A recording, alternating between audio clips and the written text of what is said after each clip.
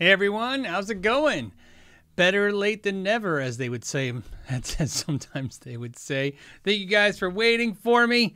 I had a technical difficulty uh, with the computer. That sometimes happens, I guess. I don't know how to deal with it. Um, basically, uh, so you guys know, because I'm sure some of you are curious, I had to run some uh, some antivirus software and make sure some things are okay before I got started. So I wanted to make sure everything was okay uh, because I have been super busy this week. Super busy. uh, boy, was I. Uh, did I underestimate all the projects this week? Um, so we'll get into that. There's some cool stuff to get into. There's a lot of stuff to talk to. I'm sure you guys have questions, of course, to talk about.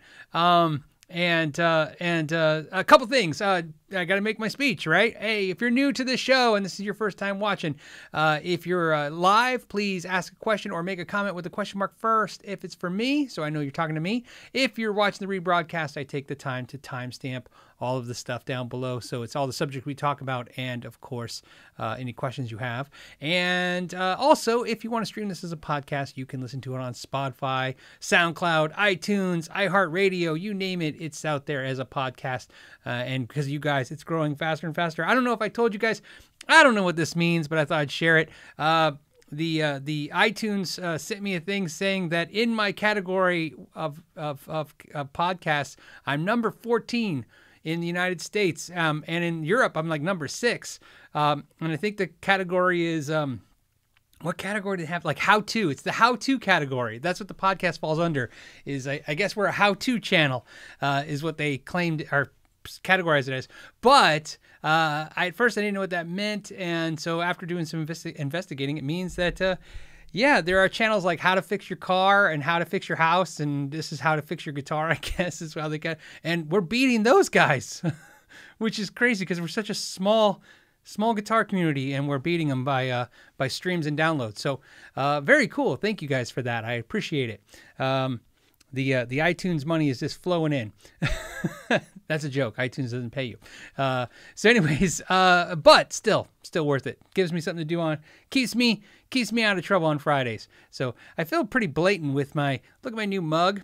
For you guys listening, I'm pointing at the new mug. I wanted to try anytime there's new merch. I wanted to try it, so I got a new new mug. And um, there you go. Uh, I reason I'm bringing that up is I obviously I was reading some of you guys' comments when I was waiting for this virus protection software to finish scanning and stuff, and uh, somebody said I like the old logo better. The old logo is not going anywhere. If anything, uh, maybe I, will explain it and hopefully you guys will understand. This logo, and for those listening, I'm pointing at the logo that looks like a blue body with a uh, bronze headstock. This is Know Your Gear. Uh, I'm wearing the shirt too. This logo was originally made for me and only me. And I, I made it available to some of the patrons, or at least I made it available to patrons. And then somehow, like on a live show or something happened, and I, oh, my wife, uh, this one she made for me personally, this shirt, but uh, the shirt I had, she did on Teespring, and some of you guys bought it, and it was never intended for you guys to get. In fact, uh, it's it's a it's official now. It's official, so I can say it. This is a Know Your Gear. Uh, this logo is a guitar. It's a good yeah. it's a guitar. For you guys that don't know, you layman's out there, this is what a guitar looks like. No, this is going to be a very soon video, a custom guitar uh, that I I can't say I built it, but let's just say I'm I'm putting it together. This was a this logo is part of a guitar that I have. It won't be for sale or anything. It's just was supposed to be something for me. So if you have the blue guitar logo, essentially consider yourself just originally it was supposed to be just for me and and now you just have a logo our shirt and mug that I had. Um, why? Because I was getting sick of the stick figures. I love that logo. I know you guys do too. We sold so many shirts. By the way, I should bring that up. One of those do those you very YouTuber thing. Just so you guys know, 20% off on all shirts today while they're live show. Actually, it's for the week. Um, why? Because I wanted to, and the sale is 20% off at the merch down below. But the uh, the code is uh, 2020 sucks. so there you go. If you want to buy any merch between now and it will cover until next weekend. I think I put it in on like the Monday in two in basically two weeks. Just if you want to buy any merch, it's twenty percent off. I don't know why. Actually, it's because I was, yeah, I just had time to do it, so I did it. Um, all right. Um, uh, Tyler LaFlamme, what's up, buddy? He says, "Did you buy another Gretsch anniversary? Uh, why would you think that? Just because there's one there? Yeah. Um, uh, not, uh, I talked about it. It was at the end of last week's podcast. I went into very long detail about it, Tyler. And so you know, um, Tyler, if you want to check that out, it's time stamped. So that way I don't have to re- uh, cover it here again. But yeah, you can learn all about it. I tell the whole story. I didn't mention you in the story, but uh, you know, you get the idea. All right. Okay, so uh, what else is going on? Oh, uh, well, I wanted to talk about, uh, of course, Guitar Center's bankruptcy again. And there's a reason why, even though last video I did it, I said I'm sick of talking about it. I am sick of talking about it. I put a link today.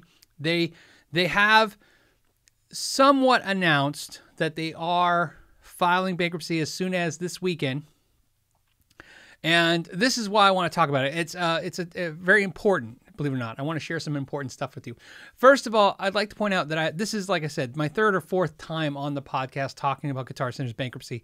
And I've said this many times. It's just been Guitar Center's been this looming thing forever about, you know, how they're going to handle it. And I've always said over and over and over again that I feel like if they file bankruptcy, they will file Chapter 11. I'd like to point out today that they have officially announced that they are uh, uh trying to file for Chapter 11. If you guys don't know, last week last week, a couple week, uh, episodes ago when I said chapter 11, somebody said, no, it's chapter 9. It is chapter 11. I was right. Uh, and I could have been wrong, but in that case, I was right. I, I was pretty sure because chapter 11 is a large debt. Uh, bankruptcy. They are uh, they're trying for Chapter 11. This is why I want to share this information with you guys because it's important. And I consider you guys my community and part of this community, and I want to share some information that I have that I think might be helpful for you. And um, Here's what it is. Uh, so in the chapter 11, what they will do is they will try to reorganize. So the, they're also saying that this is Guitar Center to some degree is stating that their creditors are working with them and they think this is going to happen. Now, so you know, I've said this before. The bankruptcy courts will decide whether or not they get chapter uh, seven or 11. Seven is where they just they're gone, like Toys R Us. It's all over. But uh, 11 is a reorganization. Okay. What does that mean to you watching this channel right now? And that's what I want to share with you. Uh, uh, we know what it means to creditors and we know what it means to certain other people, but what does it mean to you, to us, to the guitar players, the consumers? Well, I want to now switch gears, if you please, if you switch hats, if you will, to my opinions. This is opinion based right now, and I want to be very clear. This is just an opinion, but it's an opinion I would give my my closest friend. I'm giving it to you the same way. Um, that means they're in a re- reorganization. A couple things can happen. First, some other company can swoop in and buy them. I don't think that's likely, but it's possible. Um, the the other thing is the they're going to have to make a proposal like Gibson did to the courts and say this is what we think is going to fix the problem. We want to pay these creditors this much. We want to change things. We want to shed off some things. This is my opinion now. I think, and I've actually, and I want to preface this with this opinion with I've talked to I can't say who because he asked to be anonymous, but let's just say a someone in the industry that would definitely know and understand something about a store that size. Um, agreed with some of the things I said, interjected a few other things, but either way, it was the same mindset, which is I believe they're going to close between 50 and 100 stores. Uh, what they'll probably do, again, this is my opinion. It's a it's a, my forecast, right, as you will. But there's a reason why I'm sharing with you. I think what's going to happen is there's a couple problems. First, they're going to take all the stores that are not profitable. Where I live, there's five guitar centers. Not all are profitable, I'm sure, but who knows? Maybe they all are and they stay. But I think they're going to shut off some pro- uh, non-profitable stores. I want to. Um, uh, so that's what I believe they're going to do. I think that's going to be a smart move for them. But there's some couple things I want to tell you guys. Now that's my opinion. Here are some things that are not so much opinion; these are facts a lot of people have made speculations that Gibson and Fender will go in the stores and take merchandise back. That is not going to happen. Uh, the bankruptcy courts, once you file for bankruptcy, you're immediately under bankruptcy protection. The courts will decide how everything happens, everything. Uh, the bankruptcy court is the law, and they will um, uh, basically they'll decide what happens. Okay. And so remember when Gibson filed bankruptcy, originally they wanted Henry to keep running the company, and the bankruptcy court was like, no, right? Because that's what's going to happen. The bankruptcy court can go, yeah, I think your plan's good. You can keep going with the company as long as this is the plan going forward. Or they can say, um, uh, I'm sorry, I'm going to pin a question real quick, okay, guys, because I think it uh, ties in. Hold on, remove that. And let me pin this question.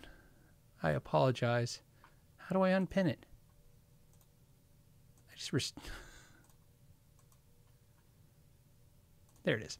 Okay, so I just don't want to lose this question. So, anyways, so what's going to happen is the bankruptcy courts will decide what was going to as what's going to happen with the liquidation or any of the liquidation or any of the adjustments that are going to happen. I don't want to say liquidation. Um, so, what I mean by that is the creditors can't go in and just get their stuff or their money. The bankruptcy courts will decide what happens. Like I said, they're they're trying for a Chapter 11, which is a reorganization. Things that I think are going to happen with that reorganization, like I said, they're going to close 50 to 100 stores. Now, let's say I'm wrong and they close five to 10 or none. I think that's not very likely. In today's market, I think if you have a store with a heavy lease that's not doing well, I think it's a good time to shed that kind of stuff off. We've seen Kmart do that same thing. Now, why this is important is usually what that means is they're not going to transfer a lot of that inventory, at least not the used open boxed inventory to another store. They'll most likely transfer the closed uh, merchandise, sealed merchandise, or none of it at all. They'll liquidate. So what I'm advising you guys, if you if you not that to worry, but um, you got to understand there's a lot of Fender, there's a lot of Gibson, there's a lot of guitars and product in those stores, and if they do uh, shrink the size of Guitar Center, there are going to be some deals out there on some product. So be prepared for that. So if you're looking for certain products, I maybe wait to see if Guitar Center's got a deal on those stores closing out on you. Uh, so that's something to think about. The other thing you have to worry about now, and this is just good common sense, I would uh, stay away from buying any gift cards from them and having any in-store credit. Now, again, I'm going to keep repeating this because I know people get confused. They are not trying to file Chapter 7, which is where they dissolve the business. They are trying to reorganize the business. And so, therefore, in a reorganization, the credit lines that you have, the credit card, or not credit cards, the uh, the gift cards and the lines of credit should still be good. But of course, that's on you if you're going to trust that. I wouldn't trust it uh, for all. I could tell you for a fact. I think uh, my wife had a gift card uh, for like 200 bucks to Circuit City that obviously is no good. Now, keep in mind, Circuit City did file Chapter Seven, but but why I'm telling you this is again, these are opinions, and I have no no base of fact on this. Just an ex, uh, just want to say expertise, but let's just say I'm very aware of how this is gonna this could go. Um, the other thing that can happen is if the courts decide that Guitar Center cannot reorganize reorganize at 11 and go 7, then yeah, they could actually do what Circuit City did and just say, "Hey, we're not accepting gift cards anymore." So again, I'm not saying not to to patronage Guitar Center farthest from it. I'm just saying I wouldn't want Guitar Center to owe me anything right now. I'm sure actually I'm not not even going to guess. Uh, for a fact, I have many friends I've said before that own companies that Guitar Center currently owns owes six figures to right now. No exaggeration. So I can't get trouble for that because it's an absolute fact. In fact, I've heard the word bastard so many times on my texts from friends that own companies that own guitar that own Guitar Center owes. Uh, I, have never seen the word used so many times by so many people to describe the same company. So they're a little upset, of course. They're losing out some money. So, uh, so anyways, uh, there you go. So there you go. So so be aware of the fact that they can do those uh, you know that's the situation. So i would be aware of that if i was for you. I did like i said put a link uh, down below like i said guitar center staying that they'll probably uh, try to file this weekend. We'll see. Um, again everything can change. Anything can change. Like remember like i said before they could always get that equity swap at the last minute. Because remember the creditors might decide at the last minute hey screw it. We want to we want to you know not have this happen and try to see if you can keep it afloat. But I think they're going to file. The other thing I think is going to happen for uh, Brian said, and I'm gonna, now I'm going to answer some questions about it. Uh, Brian said, what did Brian say? And then it moved. Brian asked, I don't know where it jumped, Brian. I, I apologize. But Brian's uh, message or comment was, What's going to happen to Musician's Friend? And that's a great uh, uh, question to ask. Uh, so if you're not aware of the fact, Guitar Center does own Musician's Friend and Music and Arts. You have to understand, a year ago, and I said this a couple weeks ago when we talked about uh, uh, uh, what do you say? Oh, uh, uh, when I talked about the uh, the bankruptcy before, I said that I had changed my opinion in uh, just a few weeks ago. It was like a couple weeks ago when we talked about it versus a year ago when we talked about it because things have changed, like COVID.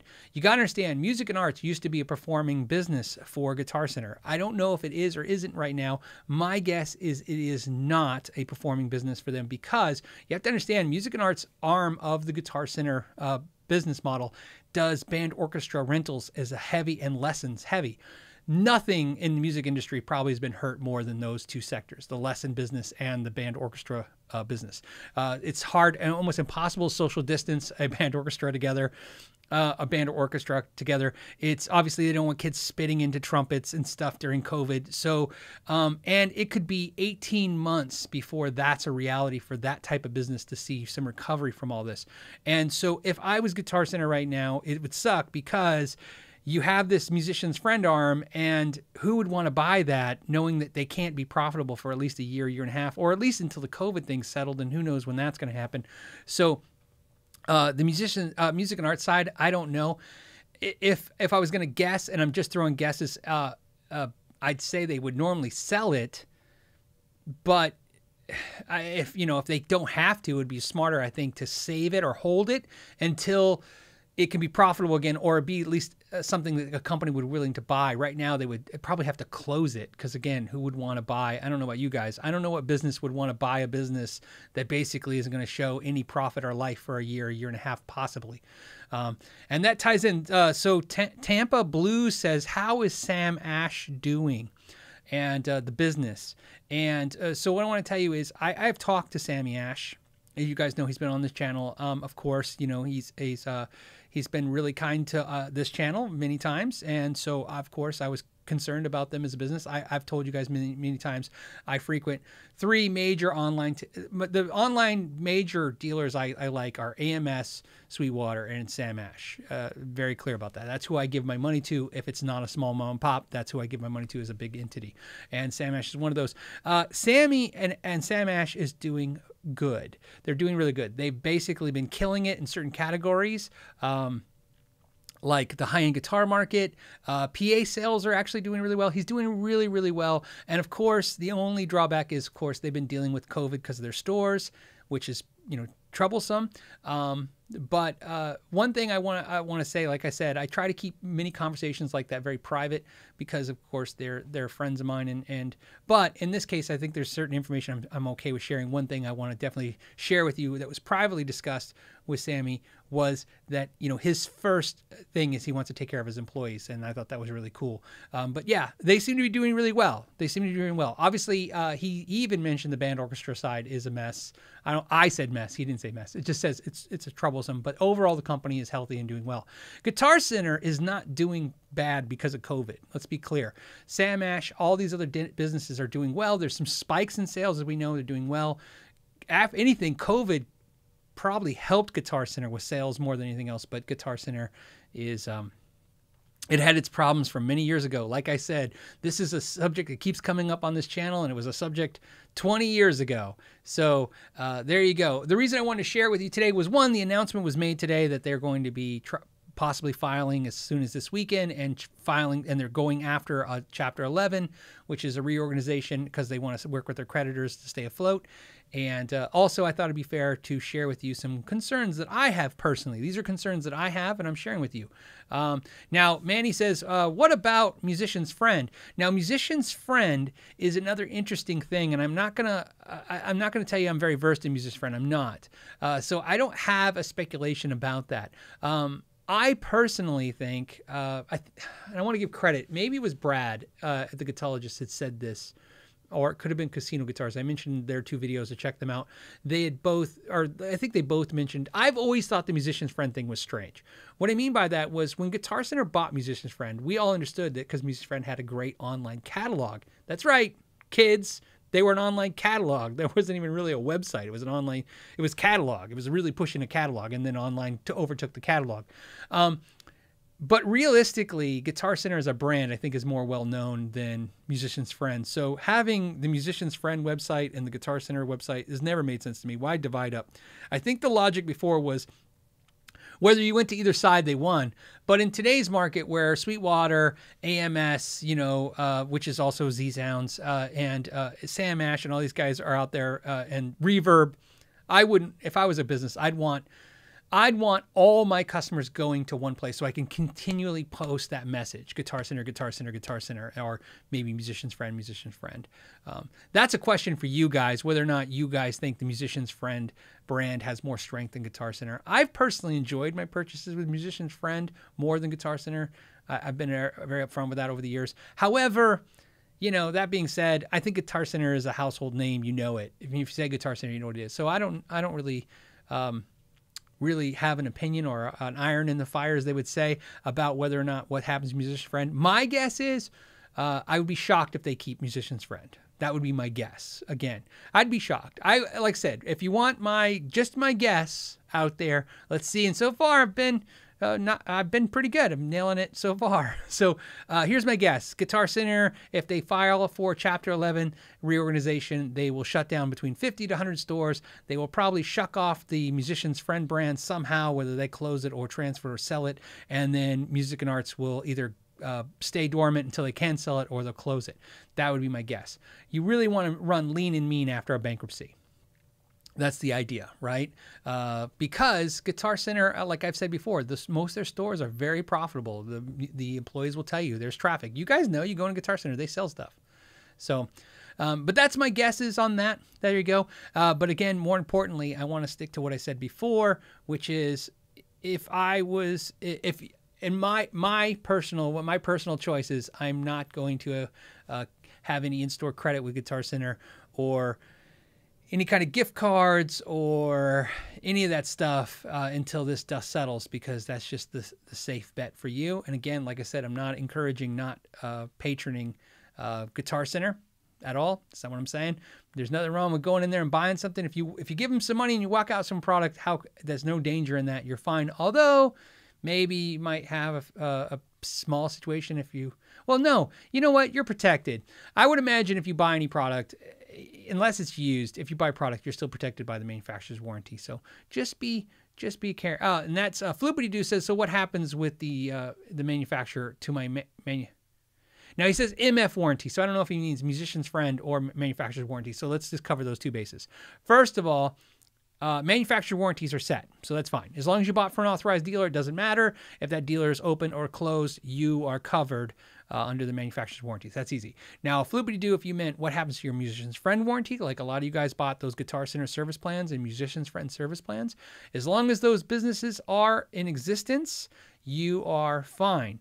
However, I would be really shocked, and I mean really shocked if they shut off, shut down or sold off Musician's Friend, if Guitar Center would honor those uh, warranties. I would uh, I would be very certain that they would run them separate, but I don't know. I don't know. Right. Um, one of the things I learned, uh, you know, over my years in the, in the industry, in this industry, much less the finance industry, which where I started before this industry, um, there are a lot of things that are always crazy. One of my favorite crazy things I ever happened to me was uh, when I opened my store in 2004. Uh, this was, I mean, literally the first week in business. I'll never forget this. I had opened up the store, and every store at that time was carrying crate amps. And I liked crate amps, but I was like, I want to carry something different. And I thought, oh, what about Randall? And there wasn't a single Randall dealer in the state of Arizona. So I opened my store and I opened with Randall and I bought in heavy and I got the Randall banners and I got a Randall neon sign and I was very excited uh, because I was like, in my opinion, I was like, oh, Randall's cool. It's a little cooler than Crate and people will come in my store. And the first week I was open, the first customer came in and said, uh, yeah, I bought a Randall not from me, of course, because I just opened. And he's like, and it has uh, a problem, and I need warranty. And I now being a new business entrepreneur, the first thing you do is like, I will take care of you, sir. And I was very happy to get on the phone and tell the Randall guys, I have a customer who has a problem and we're going to take care of him and I'm going to earn his business forever. And I got on the phone and I talked to uh, Randall, my Randall rep, and I'll never forget this. I said, yes, he bought a Randall and a year ago. uh, and it's got a five year warranty, and he has a problem. So, what is the process on that? Should I have him ship it to you, or should I ship it to you, or should we take care of it in the store? How should we fix this customer's problem? And the Randall rep said to me, and I'll never forget it. Well, we are the new Randall. We bought Randall from the old Randall that closed, and we did not buy any of the warranty rights. So, in other words, we're not honoring the old Randall warranties. Now, the reason why I remember that story from 2004 is not because it happened in the first week I was in business, and not because that was the weirdest and dumbest thing I've ever heard a rep say, because I've heard dumber and weirder things from them over the years. The thing I remember was my first week in business, I didn't know what to tell that customer, so I ended up paying $263 to have his amp fixed. And I remember thinking, man, did I pick a crappy industry to start a business into? Because I hadn't even sold one Randall amp yet, and I'm $263 in the hole. Now, uh, I'd love to say that customer bought a Lifeline customer. I don't think I ever saw him again, but that's not the point. the point is, uh, yeah, you need to you need to make sure uh, that uh, if if you do have warranties, I would read the paperwork and make sure they're clear and taken care of because um, my experience is, is more times than not you're not taken care of. Companies like to shuck the blame as fast as they can. So that's how that goes. Now again, I don't I'm not here to start any kind of panic or freak out about this. This is not a huge deal. Remember, we in the grand scheme of things, of all the horrible outcomes of Guitar Center we maybe predicted or talked about, this is one of the better ones, albeit not as good as, hey, they turned it around and they're making tons of money and paying their creditors. That's the best scenario. But a bankruptcy or reorganization might be a good thing because Guitar Center has been with this looming debt for so many years. And if they can fix this maybe if yeah they stiff a few creditors or they cut how much the creditors are paid and creditors mean even vendors. If guitar center can become lean and mean and healthy again and make money then maybe there's opportunities for those those vendors to you know make money again with those but uh, i could tell you a couple of the buddies i talked to that uh, own companies don't plan to work with guitar center anymore or at least they want to get paid up front which i think will be what happens with guitar center for a while. You're going to see leaner stores as they have to pay up front the only business i think i'm really in my personally concerned about is i think fenders in deep with those guys, and I think that's going to be a nasty, nasty mess. Uh, if it, uh, if it, unless it, uh, but like I said, Fender has Mars Music. You guys don't remember this, but Mars Music, uh, maybe some of you do. When they filed bankruptcy, they left this industry with hundreds of millions of dollars of debt. So it's it's happened before, kids, is so to speak. So again, this uh, this video is just to talk about the update. That's what happened. It happened at literally like an hour before this live show went on. So it wasn't my intended thing to talk about today, but I figured the article's out there. It just happened. They just made the announcement. I put a link down below and I thought it'd be interesting. But more importantly, since you guys are in the buying guitar mood, as the COVID stats have showed us that everybody's buying guitars, I thought maybe, you know, hopefully if you have any of those gift cards, you might want to use them up. I would if I was you. Um, uh, and Manny, uh, uh, Manny saying Gibson also. Yeah, Gibson also. But uh, Manny, let me explain it to you. And again, again, uh, I'm just guessing.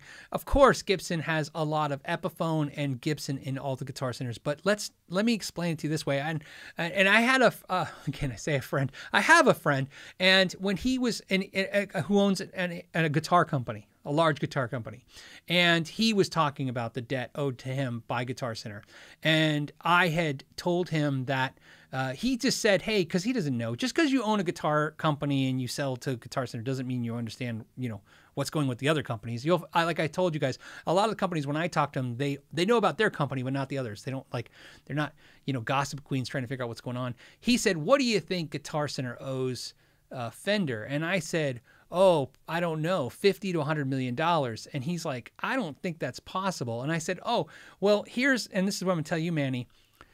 When you think of Fender in a guitar center, here's what I want you to think about. And again, this is all speculation. I could be far off base or I could be dead on. I'm just giving you my best educated guess. That's it. Fender is not Fender. Fender is also Gretsch because it distributes Gretsch to Guitar Center, EVH because it distributes EVH to Guitar Center, Jackson and Charvel, right? I can give two fingers to that one, right? Okay. Parts, if you walked into Guitar Center, there's a parts department full of Fender parts. Accessories, which is t shirts and mugs and caps and hats and stuff, right? Squier, which is tons of Squier. Fender, which is everything from acoustics to electrics, high end and low end, and amplifiers. So basically, if we're doing some easy math, and I'm going to do it right now, it's not so easy because I'm using a calculator. If I was to say there was $150,000 of Fender in each guitar center, and there's 300 guitar centers, that's $45 million. And that would be distributed between, like I said, Gretsch, because it all goes FMIC, like I've told you guys before. Look, I was a Fender dealer for 12 years.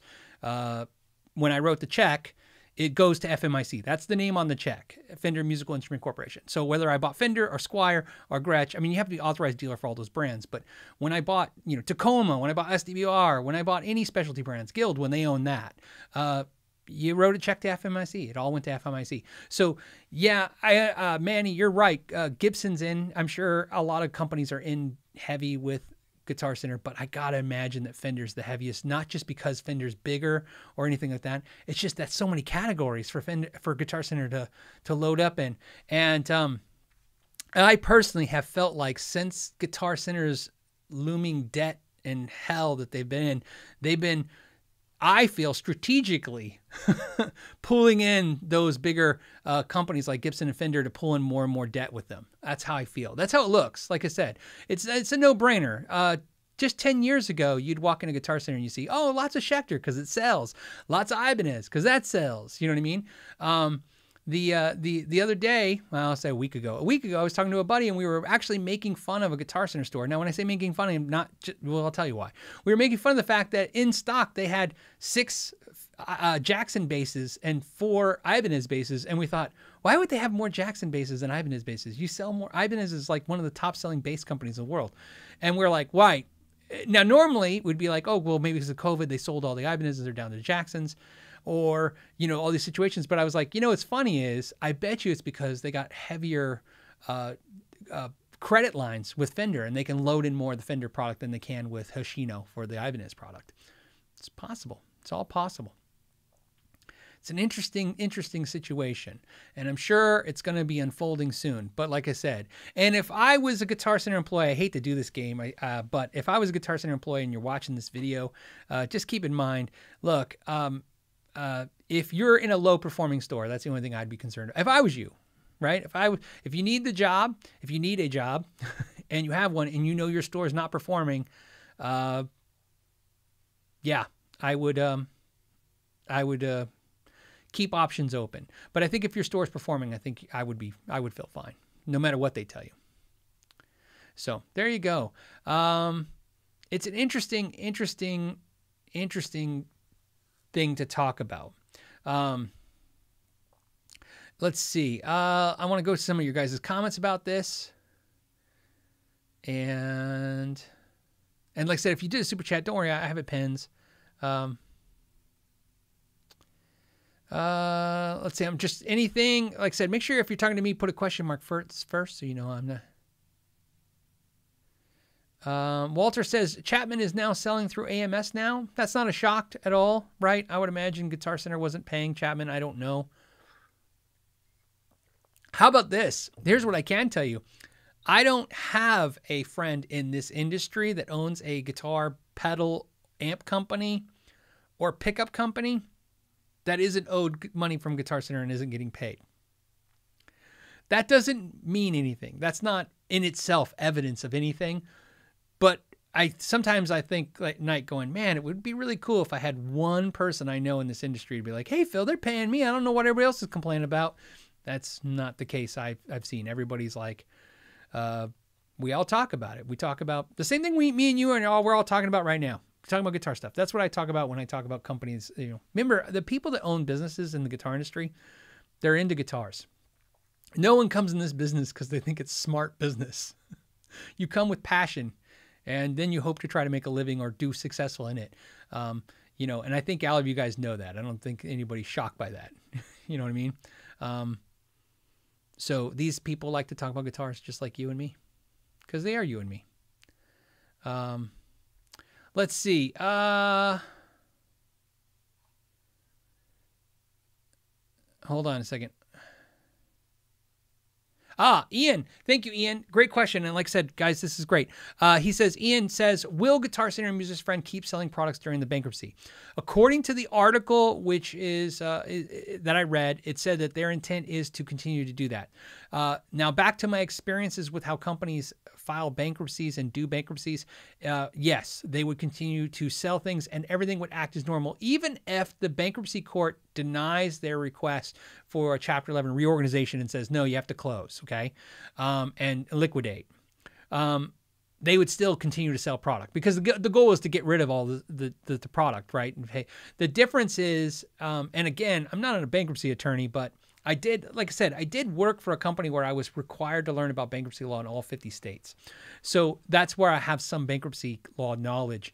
But again, it's not from the legal side. It's just from a how do you operate as a finance company? How do we operate in each state? and adhere to the bankruptcy laws. And that's why I said, let me let me be very clear. If you got if you, some of you guys I know are very layman's when it comes to bankruptcy, let me explain something about bankruptcy really really easy that every there's no exceptions.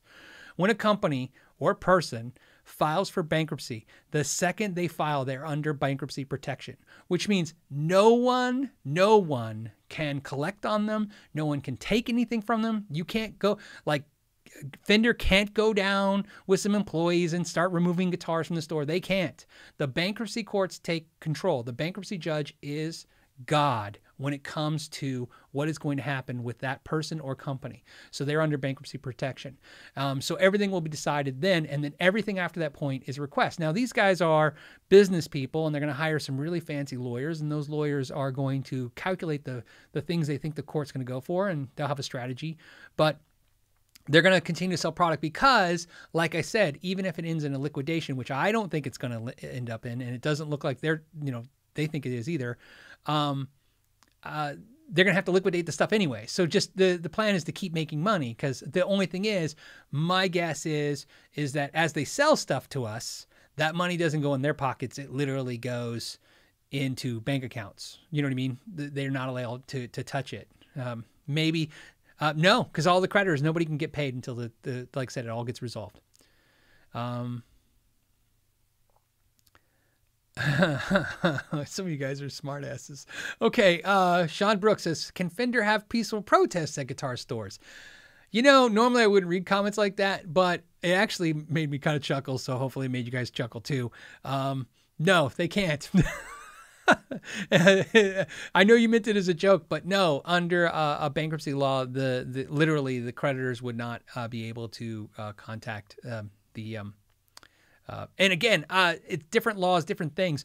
I could tell you in in this case, I don't even I don't even know if if Fender or our creditors of any kind can talk to Guitar Center, even in a non-collection meaning. In other words, even to do business. Uh, that again, it all has to be approved. So, um, uh, let's see. Yeah. BC Rich 581 says that sounds like a painful reading list 50 states of bankruptcy. So so you guys know I usually don't talk about my prior life, right? But as a prior life before I decided, "Hey, I'm going to ditch my whole real life of actually, you know, making money and doing things the right way and and and get into the guitar business." Um, I used to run a risk management department and I also uh, did telephony, if you guys know what that is. I ran dialer systems and reporting systems. So if you guys know like an Oracle database, I, am Oracle certified and done Oracle databases. And also Davox, which is a dialing system. And so what happens when you're in charge of that stuff, you're in charge of customer service calls, you're in charge of the collection calls, you're in charge of every, anything that coming in and out of the company. For a Fortune 500 finance company, that's what I did. And, uh, Yes. So what happens is you have to be versed in the bankruptcy laws because when you set up those systems to call customers or to receive calls from customers, you have to route that stuff correctly because you can get in trouble for well, and a lot for calling a customer who's in bankruptcy protection, or if a customer who calls you who's in bankruptcy protection, if you do not send it to the right place, they can't talk to anyone but the bankruptcy department because you need educated people to understand what the bankruptcy laws are. Again, like I said, it's very, very clear when somebody files for bankruptcy, they are under bankruptcy protection, and it's uh, got a lot of rules, and you got to follow them. So yeah, that's how I'm versed in those. I needed to know what each uh, state uh, would have acceptable. You know what I mean for us, what we did and how we handled it. Now, again, that was another life, but that information carries over. Um, let's see. All right, I think we covered that subject. I think we it was I think we beat it to death. But uh, hopefully, like I said, I just want to be clear about it. All right, let's spend the rest of this episode since we talked about computer viruses and bankruptcies. Let's spend it talking about fun stuff. Let's see if there's any. Uh, uh, Chris Good, Good, Goodwin says, I remember when 500 people watching this was a lot. It is a lot. 500 people is a lot. 1,300 people is more. You can tell I'm good at math. Uh, uh, yes. You know, it's funny. Uh, I'll tell you uh, a funny story, and maybe this is, uh, yeah, I'm going to tell you too because I like it. Um, you know how I figured out the podcast was outperforming the live show? I had two people stop me somewhere and uh, I think I hope I didn't tell this story before, but it happened in, in in a Target grocery section. I was with my wife and I was you know, being a, a, buffoon husband, trying to find the thing that my wife's telling me to get, and I'm, and I'm doing the thing like, is this what I need? Is that what I need? What am I supposed to get here? As I'm talking to my wife, who's like 10 feet away, and I'm yelling at her. Now, this is pre COVID, so no, none of this stuff. I wouldn't talk like this. I was talking. This woman in a fender hat looks at me really weird. Now, I'm used to that because I'm on the YouTube, and sometimes people, uh, like I said, I'm not. Uh, this channel is not big enough to be famous. It's just big enough for people to go, "How do I know that guy's face?" And usually they give you that look, like, "Does that guy owe me money?" And they just know they know you, and a lot of times it's actually worse because instead of like, "Hey, you're the guy on YouTube," I don't get that. I get they know me, they don't know how they know me, and most people assume if they know you and can't remember, it's probably bad. So they think like, I think that guy did something to me, you know, right? Um, and then you get that weird stink eye, and then I'm like, hey, how's it going? And then then they put it together. Um, but in this case, she was looking at me funny, and I'm like, okay, you know, she probably knows me from the YouTube. She's got a fender hat on, and all of a sudden she goes, "Do you have a podcast called Know Your Gear?" And I go, "I do," and she goes, "I never that I this is not how I pictured you to look." Which I don't know what I think about that, by the way. I was, obviously, was not a compliment. If she's still listening today, I wasn't offended, so don't get upset. I'm just saying that wasn't a compliment because I was like, great, I don't look the way I sound. Um, but I thought it was weird. She had never seen me on YouTube or or even looked. And then that's when I started realizing I had to happen in another place too. Somebody goes, "Your voice is very familiar," and then somebody goes, "You sound like Bill Burr," and I'm like, "Oh, thanks, I appreciate that." And then they go, "No, oh my God, are you Phil McKnight?" And I go, "Yeah," and they go, "Oh, from the podcast." So that was kind of a weird thing. All right. This episode is for crap. it's not going anywhere that it's supposed to go. Um, uh, Oh, ah, Vintage Six String says, I'm guessing Ralph isn't watching because there's no thumbs down. No, one thumbs down. Ralph's here. We're good. As you know, uh, Ralph always makes sure to give me one thumbs down. uh, uh, Manny says, "Were you ever mistaken for the singer of Smashing Pumpkins?" Look, I'm mistaken for every bald guy, quote unquote, but fat bald guy. So it's like you're like a fatter Smashing Pumpkins, uh, Billy Corgan. You're like a fatter. I call it Fat Fatcherani. You're like a fatter Joe Satriani. Uh, yeah, it's always like a, a fatter version bald guy, um, which doesn't bug me at at all. that's not that's not a trigger for me at at all. Because uh, you know why? Both those things are true. So what do I care? Um, let's see. Uh, let's see. Rob Halford. See, I'm like a fatter Rob Halford. We could go all day. You just keep naming bald dudes, and I'll be like, I'm like a slight. Sometimes I'm a slightly fatter version of that, and sometimes I'm like a fatter version. Depends on how. Like Billy Corgan, I used to be a fatter version of Billy Corgan. Now I'm a slightly fatter version of Billy Corgan because he's kind of put on a few. So that's how it works. um, uh, I don't know what viewer said this to me, but it was he's. I love it when you guys put this is not meant to be an insult. That's how that's how the comment starts, and he says this is not meant to insult, uh, be an insult. You look like Joe Satriani with a dad bod, and uh, and then I was like, cool. All right, uh, let's see.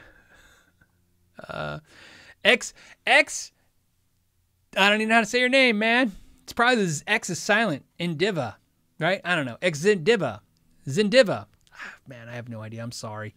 Says Phil, uh, did you ever perform? Um, yeah, I used to play. Well, you know, when I was younger, I played in some rock bands. They were metal, heavy metal, and uh, then I played bass in a Pentecostal church band. Yeah, like Pentecostal church. Um, in fact, uh, this is absolutely true. So you know, uh, I used to play bass in a band where um, it was an all black band, obviously, but me, and I was the bass player. Um, they thought that was funny the band that is. Um, it didn't really affect me in any way.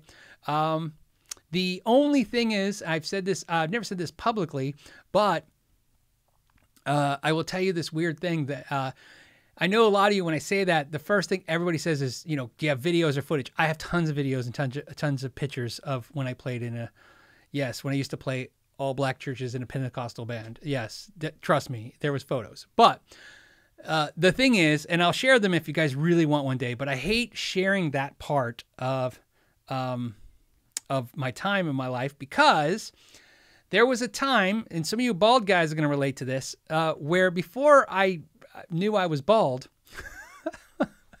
um, and shaved my head, I had that what I call the rat's nest on your head. You know, it's like uh, it's like thick here, and then it was like really thin on the top. And it, so here's what I hate about it. It's like a picture of me in my late 20s, early 30s, but I look like I'm older then than now. If you saw it, you would think like, how did you get a picture of you in the future? Um, shaving your head is not a great look, but it definitely is better in my opinion than when your hair's super thin on top. So all the pictures of me are in these. It just look. I look like a different person. You like you'd like look at it and you guys would go not laugh because of the, the hairdo, maybe. Mostly you laugh because you're like, that doesn't look like you. so, um, yeah, yeah, me in a dress shirt and a tie playing bass in a Pentecostal band. Yeah. So there you go. Uh, yeah, Frank said slapping that Jesus bass. Yeah. Um, so there you go. uh, so there you go. There you go. Yes. Uh, so yeah, I've performed, and of course I've performed many times. I uh, just in the last, well, before COVID, I last year I think I performed uh, 11 times, almost once a month, uh, in front of you know everything from large audiences to small. Played with uh, Larry Mitchell. I played bass with him last year. That was great. So there you go. Um, yeah. all right. This is just this episode. I don't know what this is. This is just gone awry. Um. all right. Um. Uh, DG DDG eighty seven ninety five says Phil, I play in a Pentecostal uh, church band through a PRS Tremonti and a Krank Frankenstein. Yeah, yeah, of course. You know, here's the deal. Um, I will tell you this again. I try to always stay away from uh, religion and politics, so that's not what we're talking about today. What we're going to talk about that, that's important eh, to me is um, bass. Playing bass in Pentecostal music is amazing. Let so you guys know, Larry Graham invented slap bass. I know you're on most of you guitar players probably don't know that, but that's absolutely true. So if you want to be, if you want to play slap bass like I like to play slap bass, uh, man, that's the place to do it.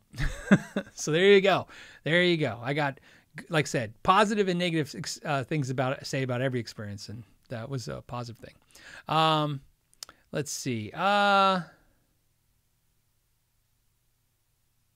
Okay, so I got I got to hit some super chats. Let's do this. The, uh, you guys have some super chats set aside for me. Let's uh, hit that. I have no concept of time because I started so late. Let's refresh this screen. I'm just happy my computer is not crashing, although I think I cleared the virus. Um, so you guys know, I learned something. I told you guys I'm not hugely a computer nerd.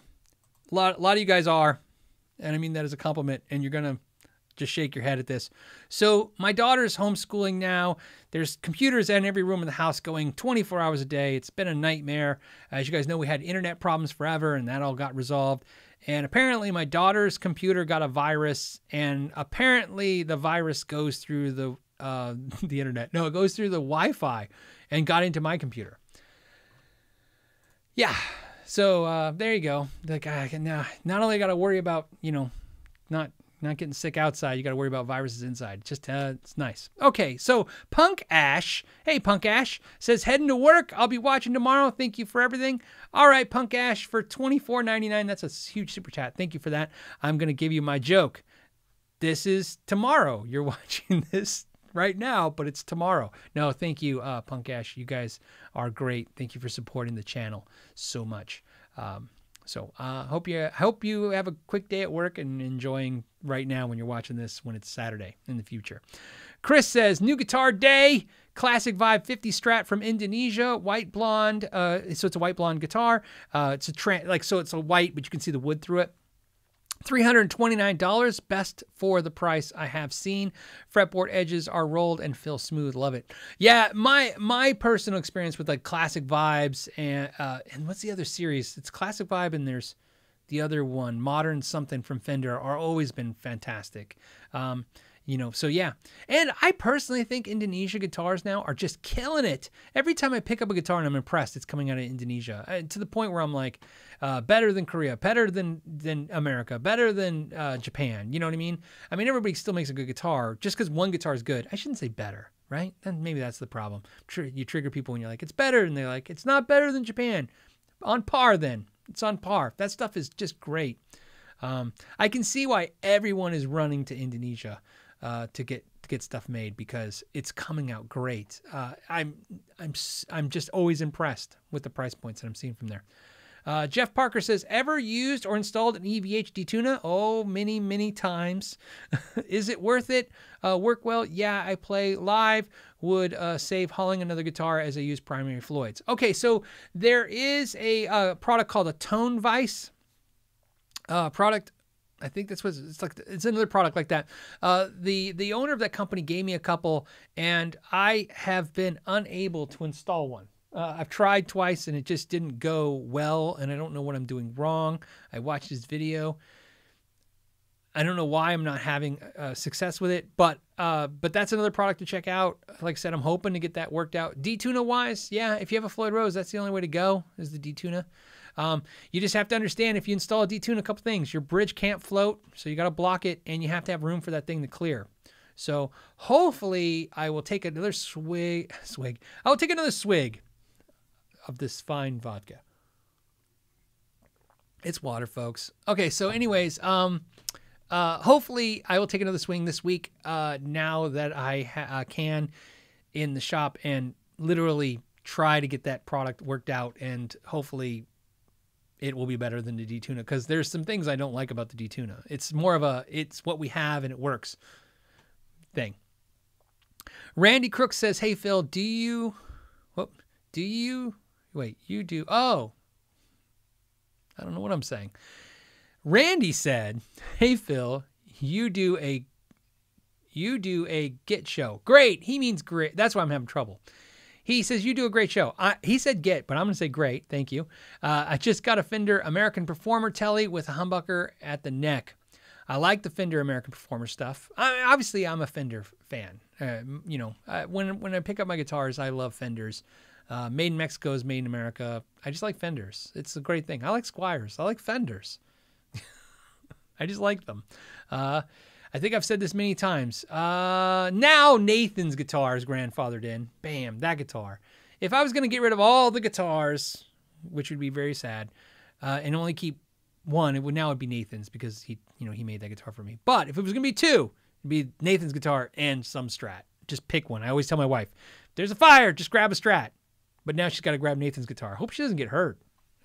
Maybe I should tell her stop grabbing guitars. Just get out of the house. Not sure. Sometimes, um, sometimes I don't think before I talk. All right. Um, let me let me hit two more real quick. Uh, this one's from Mike. Mike says, "Do you know anything about Roberto Venn School of Luthiery?" I do. They are right in Scottsdale, Arizona, like you pointed out. Thinking of going, but would have to move from uh, uh, Missouri. Is that Missouri? Mo? Am I? Is Mississippi. Mo is Missouri. Uh, is the school legit? Um, here's what I can tell you about Roberto Venn. First of all, uh, I have a good buddy named Joe. Uh, he is um, the guitar tech uh, for the Allman Brothers, and he also works uh, at Roberto Venn, and he, he is uh, great. And uh, I have been to Roberto twice, you know, checking out things. Uh, we were supposed to do something, I think this month or next month. I don't know. COVID's been kind of a mess. Otherwise, I would have done more project with them to help them kind of spread the word about Roberto Venn. So here's what I got to say about Roberto Venn. I think if you go there, you're going to get great, great, great training. Let's be very clear. There are a lot of really amazing uh, luthiers who have successful businesses in this industry that went to Roberto Venn.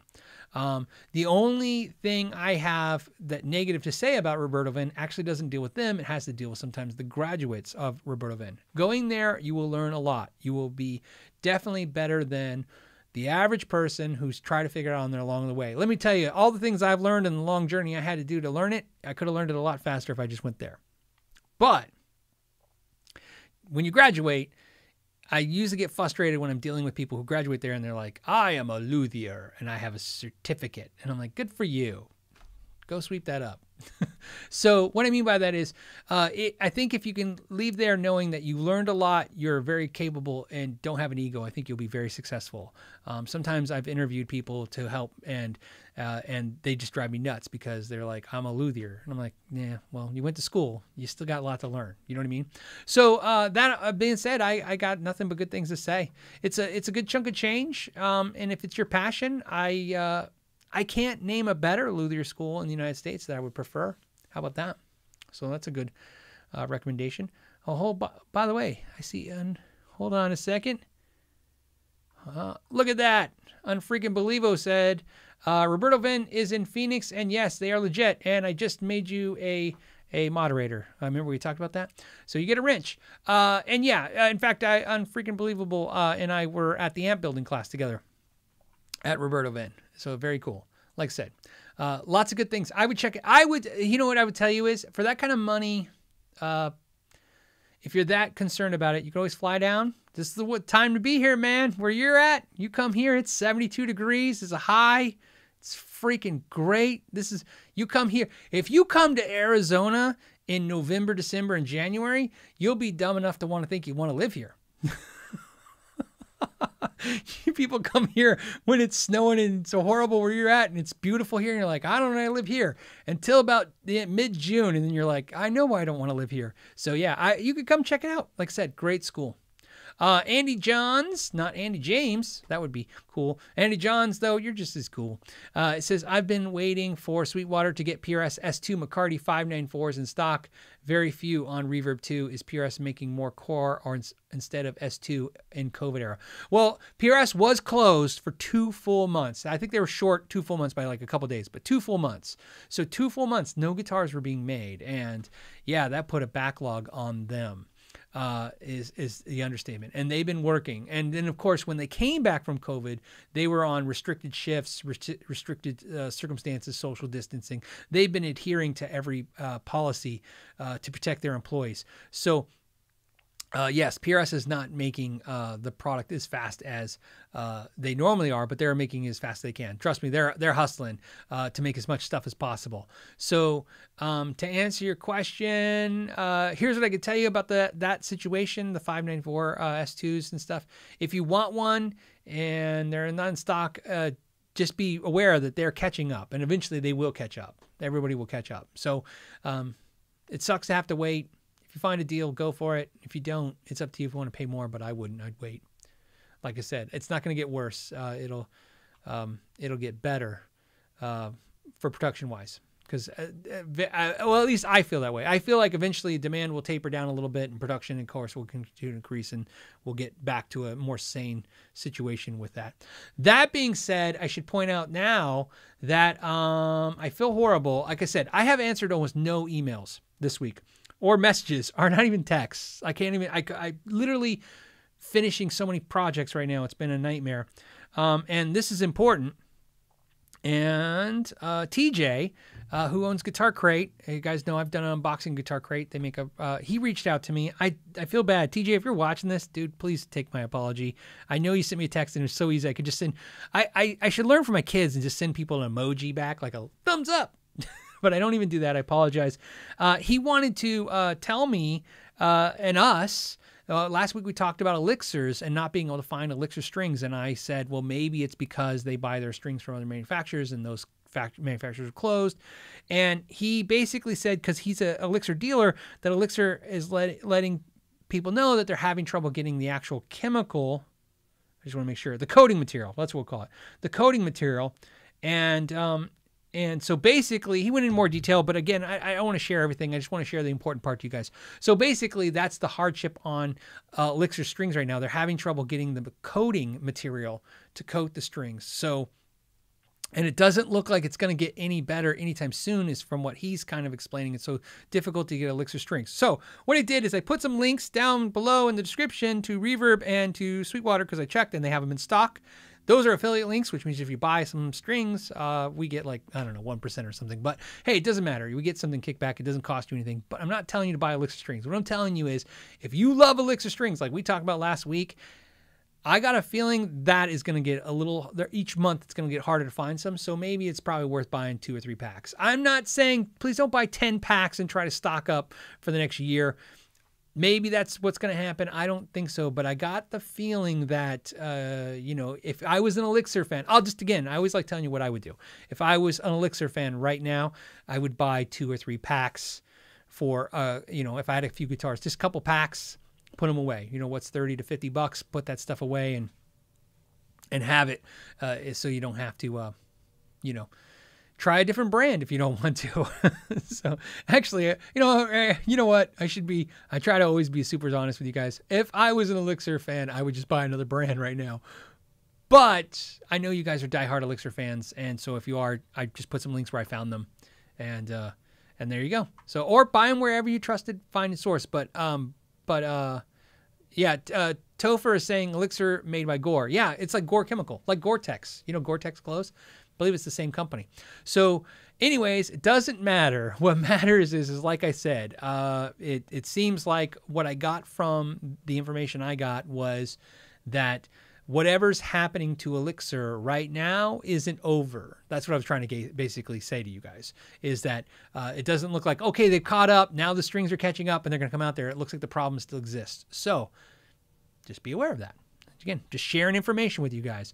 So, because you guys are watching this show, I figured you're ahead of the people who didn't watch it that love Elixir and have no idea. So, in two months, when they can't find a pack and people are scalping them on Reverb for $36 a pack because they're horrible people, that's what's going on.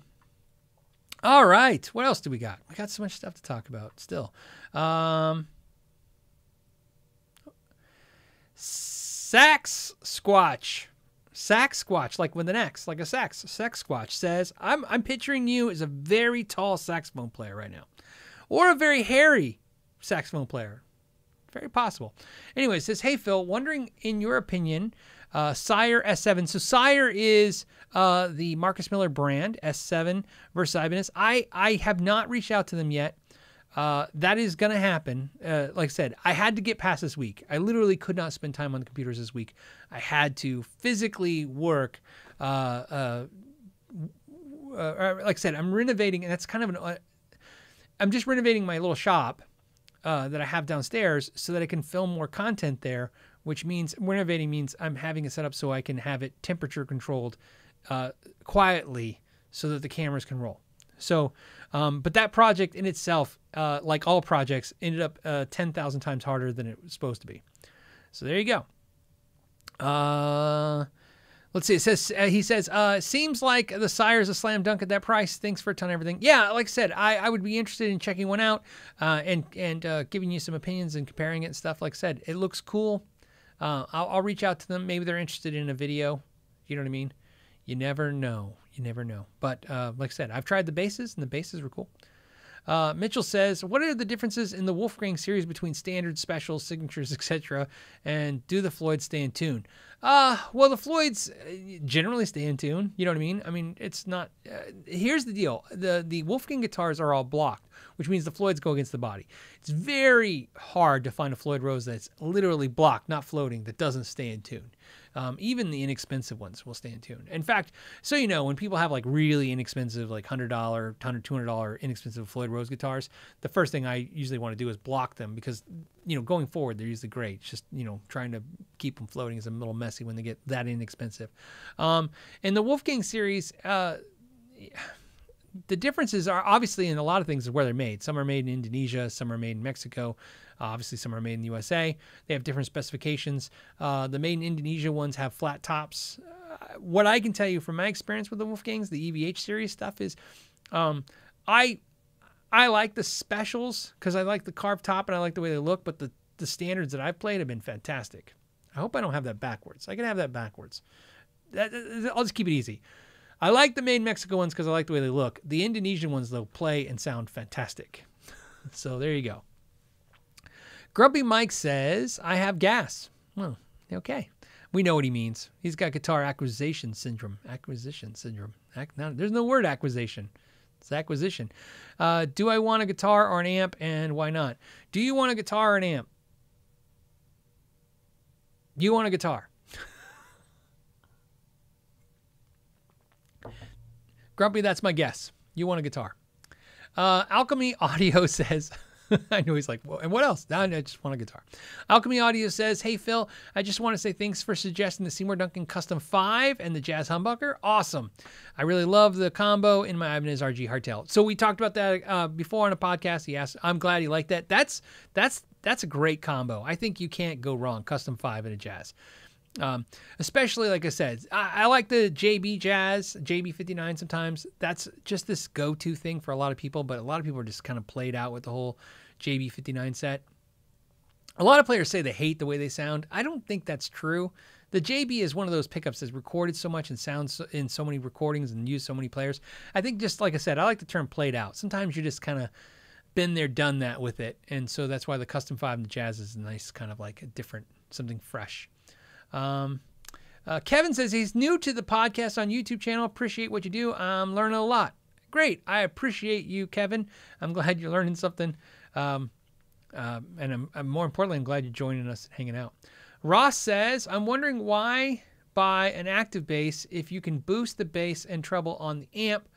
Uh, why buy overwound bass pickup when you can use vintage pickup with an overdrive pedal and hotter sound? Sure, of course. I'll give you the expl- explanation if it helps.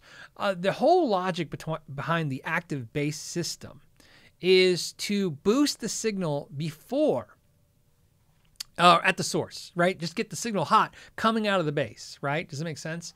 Um, and it's more sensitive, right? Obviously, when you boost in that way.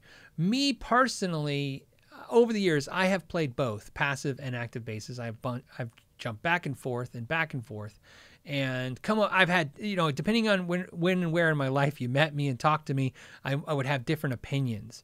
Um, and I used to be an Ampeg guy. I used to play nothing but Ampegs. And when I was an Ampeg guy, for some reason, I was always active, active into Ampeg. That's just the, the way it was. And then I went to SWR and then Eden. And the more I got into more uh, hi-fi sounding amplifiers, amplifiers, and that's how I kind of like. To me, the Ampegs got the vintage tone, and now the Eden stuff. It's more hi-fi. The more hi-fi amplifiers, the less I even care about the preamps, uh, the active preamps in the bass.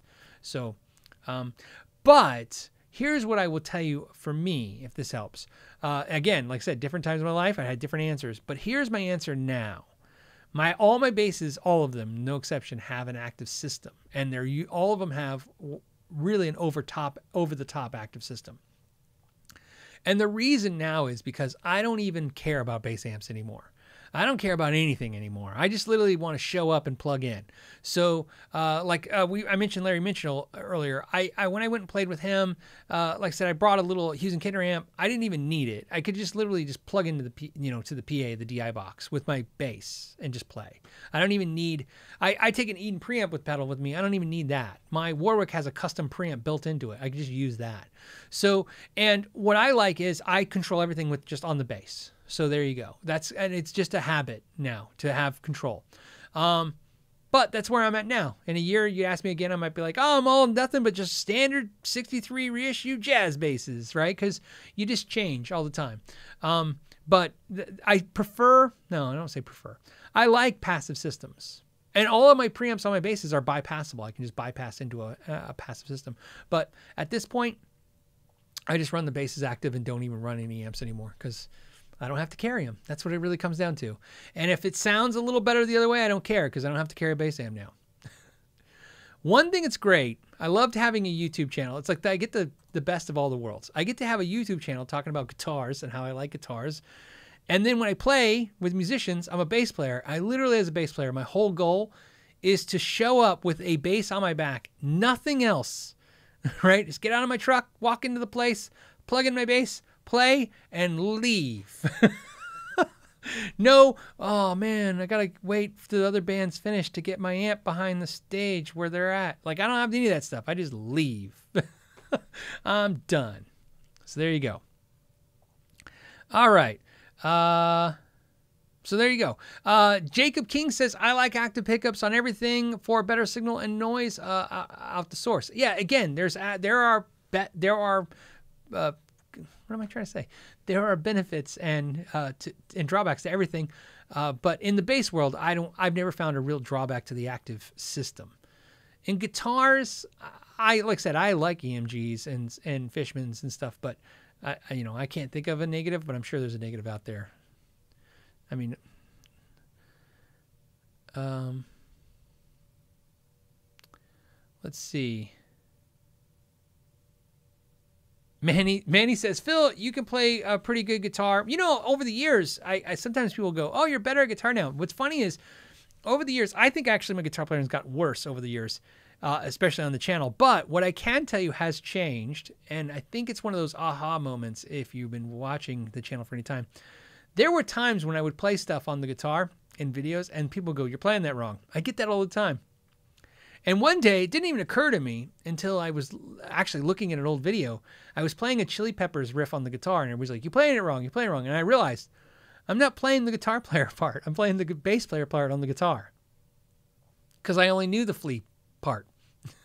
so a lot of times I was playing guitar, I was playing my bass riff that I knew on the guitar and trying to fake it through. And, and now I slowly start playing more and more guitar type stuff. So if that helps, I mean, like I said, I love playing guitar. Don't get me wrong. I just like I said, I, for, in my life as a musician, I've been a bass player longer than a guitar player. Um, let's see. Lou says, don't forget, just don't forget to unplug if you're changing the battery. What's great for me, buddy, is I don't have to change batteries. My basses all have um, uh, like lithium batteries that uh, charge with a USB port. So there you go. That's the way to go if you can do that. You just charge them up, and then there you go. um, okay. What else do we got? How are we doing on time? We're doing good because we started so late. All right. Uh, we have Jose. Jose Garcia says, Hey, my Head Rush 108 has gone out on me twice. Uh, what other FR would you suggest for a Kemper stage? For my Kemper stage? Um, so I don't know. Um, this is always a tough, tough thing because I'm not. This is not my forte. You know what I mean? When it comes to this stuff, I've tried a bunch of things. I've tried Axe-Fx, the Kempers, Head Rush, uh, and I have found for me, for my life and my, my and what I physically use to make money and live in my environment is on YouTube. I use the HX Stomp. That is what I physically use all the time. I use that product all the time. You guys saw when I went to the cabin, I made two videos. Both those videos were made with the HX Stomp. Those videos, one has 50,000, one has 130,000 views. Um, that literally, uh, that that is, uh, it's a tool and it solves a problem for me. The HX Stomp is one of my favorite tools in the industry. Um, I haven't tried the new Boss version. I know there's like an Axe-Fx smaller version. I haven't tried that, um, mostly because the HX Stomp works. I bought the HX Stomp uh, actually, if you guys remember, uh, Line Six sent me a Helix LT, and I just didn't. I didn't need it. I couldn't figure it out. You know what I mean? I, I mean, like literally figure it out. I couldn't figure out the application to use in my life. You know, I can review it. That's different. But I try not to just review stuff. I try to show you guys like, here's how I use it and why I use it. And uh, and so what I ended up doing with that was I sold it to a patron and uh, gave him a deal and uh, and uh, and then added like a hundred bucks to what he gave me for it, and bought the Helix uh, H, or HX Stomp. And so I bought the HX Stomp, and I've been using it ever since. And literally, that thing is uh, super practical for me. It solves, like I said, it solves all my problems. Um, there, there you go. So uh, sadly enough, I've kind of settled. That's where I'm at now. I have a Mooer GE 300 Lite, and I got to do a video on that, and I'm going to kind of compare it to the Helix and see where I like on those two amps or those two products. But again, that's a review. Other than that, I've had no desire to try other uh, modeling effects units, um, and uh, the companies don't send them to me. So I mean, I have no reason to kind of buy them and check them out. So I'm just not versed in it, buddy. I'm sorry, um, but that's there you go. Um, let's see. Uh, hold on. I'm looking for question marks first. Oh, Frank says, don't forget to like the video. All right, like it. yeah. Um, okay. We, I want to go to a,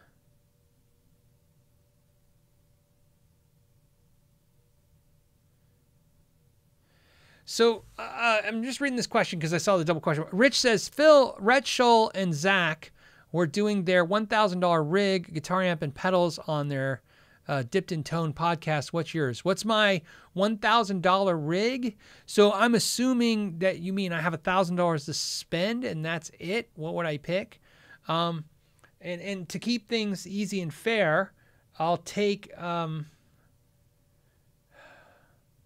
man, it's, I'll, I'll, I'll try to keep it reasonable.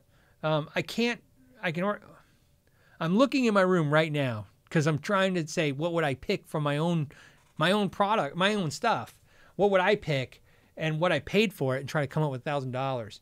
Um, uh, so this is going to be cheating. So because it's cheating, I'm going to give you my answer and then I'll give you an answer that I think won't upset you guys. So in my stuff that I own, uh, I have a uh,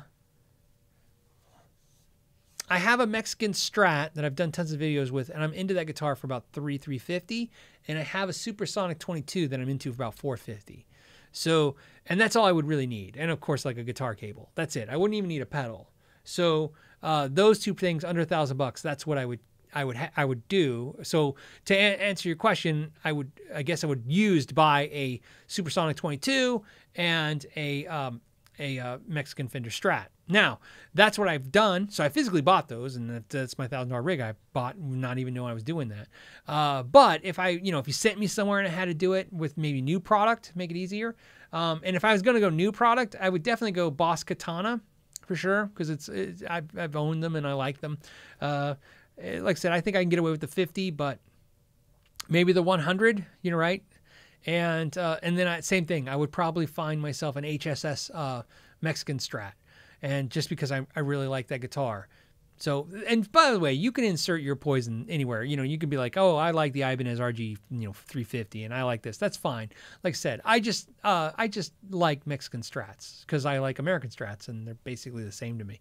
So, so that's what I would pick. It's so boring when I say that stuff. I, I so you know one thing that happens sometimes when I'm like a you know I'm at some place that happens a Home Depot, Habit Burger, whatever, and I bump into one of you, the viewers, one of you guys. And one of the things you always ask me, it's a weird weird thing like hey uh, how's they're like oh I like what you do on YouTube. Uh, thank you. And then they go, uh, hey, if you could only have, what's your Desert Island guitar and amp? And I always say, like a Hot Rod Deluxe and a Mexican Strat. And they always look so disappointed. So, but that's what it is. Like some kind of product like that would do well. So, I'd like to have a sexier answer, like a cool thing. That's probably what I do. Uh, I don't think I'd build a pedal board and stuff. I don't think I'd go that crazy to do that stuff. I mean, I know I could get like a Harley Benton and then like a pedal board and like five pedals and an amp and do that, but I would probably just go uh, basic if I was just going to go that well. Now, uh, if I had to build a pedal board, I know this is like more involved. If I had to build a pedal board, See, the pedal board is where I'm screwed because um, in my pedals that I use, all my pedals, I would have to own them already because as you guys know, a lot of the pedals I use, I'm looking at them right now. I bought them when you could buy them at affordable prices. Like I said, I love my purple plexi by Love Pedals, uh, and um, you know now they're fetching you know two three hundred bucks or you know more, uh, and I bought mine for like one and a quarter. So stuff like that. Always cool. Uh, Frank says, "What about Harley Benton pedals?" Yeah, I mean, essentially pedals. You got to understand. I'm pedals in my world of pedals, and and is this, and I'm looking. So you know, I'm looking at a pedal board, my my main pedal board right now. What's on my main pedal board right now? I'm to to you left and right. I have a a uh, Lawrence Petros compressor pedal, and uh, um, I have another pedal in the other room. in the other room, I have another pedal board that has an identical setup to it, uh, and uh, and I have uh, this pedal board is running in my Princeton in here, and my other room it's running into a Princeton. Um, that is a YouTube luxury, by the way. I would not suggest that is a sane course of action. But please understand, so you guys don't think I'm crazy. If I stopped doing YouTube tomorrow, I would not have two identical r- rigs in two identical rooms. The reason I do this is sometimes, as much as this looks like a toy store, this is where I work. If I come in this room, even if I try to enjoy this stuff, and if I just picked up like this Charvel and just start playing it uh, today, you know, just for the sake of playing it, within 10 minutes, I'm like, maybe I should get out this, you know, uh, pedal and review it. you know what I mean? Or maybe I should learn about this product and, or maybe I should work on my, you know, so you see what I'm saying? I'm right here next to where I work is, so I work. So I like to go in the other room and not work. There's nothing in there for me to do. Um, it's my bedroom, so it's nothing to do but sleep and play guitar. So in that room, I have identical pedal boards. I have in there, I have the Keeley pe- uh, compressor. In here, I have the Lawrence. Then I have the um, the um, I have the um, uh, Supro uh, tremolo, and the other room I have a Boss tremolo. And then I have a uh, JTM Boost, which is by Love Pedals in here. And in the other room, I have a Tube Screamer, the TS9. And then I have the Purple Plexi in here by Love Pedal. And in the other room, I have a Purple Plexi. So I have duplicates of that pedal. And then I have uh, 5150 uh, pedal in this room and then into a acid reflux delay. And in the other room, I have the uh, uh, BE100 pedal into a DD3 delay. No, I, I, I don't. I have the caverns now. I switched to Keeley. So that that's why. Uh, so I, I don't I hope that was interesting. Felt like it wasn't. Um, but yeah, and they're both just identical boards, and that's why I have it. So so I can, you know, and I have that because in the other room I can play, and that's what I enjoy playing. And in here, what happens is when you when you review stuff, uh, and for those of you that are thinking about doing this reviewing stuff, which a lot of you do because we all kind of do it, um, I have learned that uh, try to be at home, not physically in your house. Try to be at home as much as you can. What I mean at home is this. If I'm reviewing an amp for a company, I try to grab a guitar that I'm very, very comfortable with. A guitar that I know, a guitar that I love, a guitar that I feel connected to. So that way, as I'm demoing the amp and that's something not in my normal, you know, uh, rig, I feel like I'm as connected as much as possible. So if I'm demoing a guitar for a company, I'll use an amp and some pedals that I'm very familiar with. I find this really helps uh, draw in the audience to go, oh, okay, he's getting tones, and how is he using this? And, it, and, and, I like to incorporate the piece of gear I'm reviewing into my normal rig. Uh, so so that's why. So that's why I have dual uh, rigs in each room is because that's the room I play in. And in this room, I, I like the Princeton, as you guys know, and then I like the pedal board to use if I'm demoing a guitar or something like that. So, uh, uh, Bam Mozzie, is it Bam Mosey or Bam Mozzie? Bam Mozzie says, "How are you finding the PRS Hollow Body 2?" Question mark. Is a review coming soon? Um, it's right down below. Uh, I didn't. I just did a video that comes out Sunday, uh, where I'm reviewing the new uh, Fireball 25, and I'm using uh, that guitar in it. I didn't specifically do a review of it yet. I, I haven't I haven't I haven't figured out how to do the review yet, if that makes any sense. I know it's like a lot of you guys are like, oh, you just review it. But I, sometimes I like to have a, a, concept of how, you know, what I'm talking about, what's going to happen, and why. So, um, all I can tell you is this every friend I have that's been to my house since I bought the Hollow Body 2 Core has told me they think the PRS SE Hollow Body sounds better. Which is not something you should tell your friend after they paid a lot of money for a beautiful core instrument. But I also think I'm happy I have friends that don't BS me. So there you go.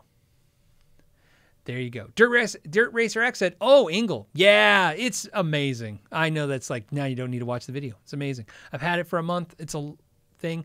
Um, so Uh, Dirt, Racer, Dirt Racer X says the Fireball 25 is my dream amp currently. Yeah, then you're gonna like my review and how I approached it. I came at it definitely differently than what I saw. Um, a lot of times when I review stuff, when companies like uh, them, uh, oh, Dirt Racer says I want to see the Power Soak feature. I to go through that in detail. Uh, a lot of times, like I said, uh, what what's happening in the last two years with the channel is the companies reach out to like a ton of YouTube channels and they all send them the product and then they do a ton of videos and then later they come to me. it's it's like nobody wants me to be first because they uh, I don't want to say nobody, but a lot of companies don't want me to be on the you know the rollouts of products because they you know they don't know what I'm going to say or what I'm going to do. Uh, and I'm just saying that because they said that to me. I mean, I wouldn't just I'm not just throwing guesses out there. A lot of companies are like, hey, we like your channel, but it's a little hard to figure out where you're at with certain things. So um, so anyway, so a lot of times the companies send me stuff late, like the Engl Fireball, you know, 25. Um, I got it way after everybody else got one and did a video of it. So sometimes what I'll do is I'll watch a few of the videos that are out there. Um, to go, okay, what was covered and what can I add to this? You know, if somebody, I always like to picture in my head, because we're all the same. I watch lots of YouTube videos too when I can. I go, I go, okay, if I watch these three videos, what am I still curious about? Or what can, you know, what would I still be looking for information wise and see if I can go. Um, um, Frank said, better send it to Glenn Fricker first. Yeah, of course. You know, a lot of them, again, there's nothing wrong with them being uh, being sent first. I mean, it's it's definitely how you get the views. You want to be first. Some YouTube channels, so you know, have it a contract that says they have to be first. They have to be the first channel that gets the product if they if you want to review because they know the first one gets you know a new product and and uh, there you go. I I used to care you know, if I oh I want to be first because I want to check it out like everybody else, and I want to be like you know I want views too. Um, but over time, I, I I've learned for me personally, me personally, I've learned uh, that uh, the companies don't care what I do when I'm last, and that's okay with me. I don't have to hear anything. Uh, I really have no tolerance for it, which is not a uh, uh, it's not a good trait, so you know. I mean, I can literally like you know I'm I'm I'm fast to to to not want to work with a company. So so if a company's like, hey, could you send us a you know preview of the video before it goes out? I'm like, ah, never mind. Just I don't want to review it. Uh, it's just you know because I I don't know. Uh, it's you get the idea. I think you guys watching the channel know why. Um, I like to just do what I I like to just say and think what I want. Um, and so it's it's a I get to eat my cake and have it too when companies literally are willing to send out some products and I get to literally do whatever I want with it. Um, okay. Uh, all right, let me let me uh, let me let me get focused here. Matt Budd says I'm planning uh, for an eventual exit from guitar collecting in five to ten years. Okay, yeah, yeah. Uh, me too. It's called my when my when my daughter goes to college and I have to spend everything on that. and slowly these just turn into tuition payment stuff. Um, uh, uh, there you go. Uh, anyways, I'm planning uh, for an eventual exit from guitar collecting in five ten years. That's what he said. Best to move everything gradually, starting now or once I'm when I'm ready. Uh, well, I will tell you this. I'm going to give you the both uh, the both sides of this that you need to pay attention to. Sure, you should sell the stuff when you can get the most amount of money for it. That's the smart business move. Do that. The problem though is, is if you're not done collecting and you sell guitars, you'll just buy more guitars. That's it. You have to you have to be ready to stop. You have to be ready. We all think we are.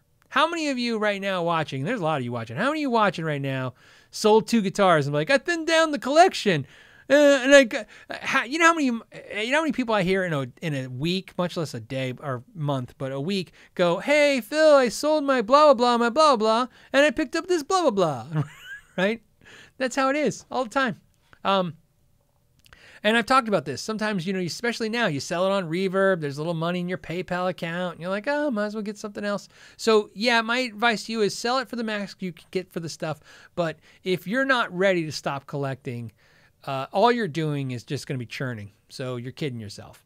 Uh, Voodoo Fist says, Are you ever going to offer or auction for charity one on one Skype sessions?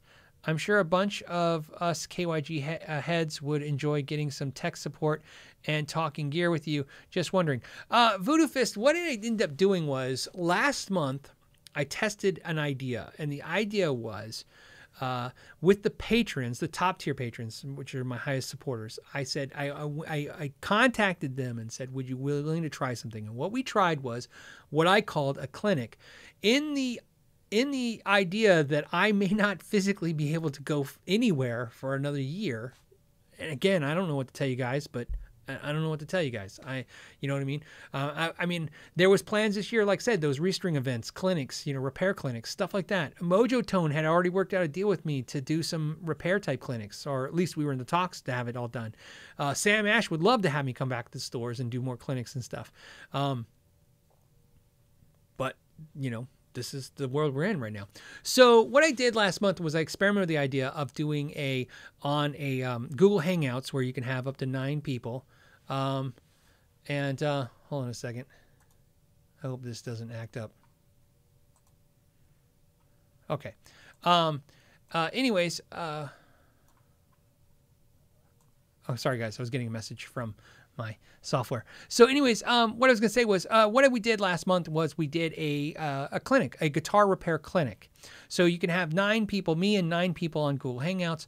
It was done during Patreon, and it was uh, to, to experiment to see if the idea worked. It did work. So what I did to to do this is I invested uh, money into a into my because my shop's downstairs in my garage. I have a large garage and I have a section of it that I use for repair. I actually remodeled it. That's what I was doing um, this week. We talked about this a little bit last week. Uh, remodeled it and I made it smaller. I made my area smaller so it's easier to control because I have to climb it it. I have to because it's 118 part of the year here, so I got to have climate uh, that isn't. Uh, uh, I don't know what I'm saying. I, air condition it. I have to air condition it and heat it in a way. Mostly air condition it. You don't have to heat here. Uh, air condition it in a way that doesn't make any noise. Um, that was my problem is that um, so we did that that's what the, the remodel was we also uh, set up a rig uh, so you guys know i have downstairs uh, the Blackmagic camera rig so that we can do like a guitar clinic where you ask me questions and then I can push the little button and it goes to the camera over here where I have the repairs and stuff. All of that I've been setting up this week and, and it's it's not like a it's gonna happen soon. Let's talk about it. It's being done as we speak. It's physically being built out. Um, the uh, I would say it's 90% done. It was supposed to be 100% done, but as always, as you guys know, when you're doing any kind of stuff like this, there's always a hiccup. none of the contractors, none of the work I did had a problem. Just we found other issues we got to deal with. Um, that being said, that's the plan. So right now, the the patrons are the uh, the guinea pigs for that, and then the plan would be to roll that out. I think so. Your idea uh, of doing that uh, is is uh, that's what I'm working on. I appreciate you uh, doing that. I will let you guys know um, to do that. And then what I would like to do is have a two tier program with that. So, you know, I have two ma- basic, I have two basic tiers on my patrons. The top tier, which would be more of like, so if you're interested in doing something like that, I'll let you guys know. Don't go sign up for Patreon right now. I mean, I appreciate anybody supporting me with Patreon, but um, I don't want anybody to sign up right now thinking it's going to happen tomorrow. It's definitely rolling out like in a week. And again, I got to keep rolling it out. And uh, so, so there you go. I'm sorry to go so long winded on it, but yeah, uh, great idea. And so obviously we're all thinking the same. Um, Casey says Pale Moon Ebony Care. Okay, Pale Moon Ebony Care. Is it normally sealed like maple? Um, or is it open grained and needs oiling? Um, I bought a Fender FSR Strat and the Fender didn't give me any straight answer. Any experience with ebony? Sure. Okay, cool. Uh, all right. Easy enough. Ebony wood care is simple. You can use any product uh, that that you feel safe to use on rosewood on ebony. So I will always say this over and over again. I use two products, and again, I've used them all. I have no like horror stories. I have no stay away froms when it comes to most products.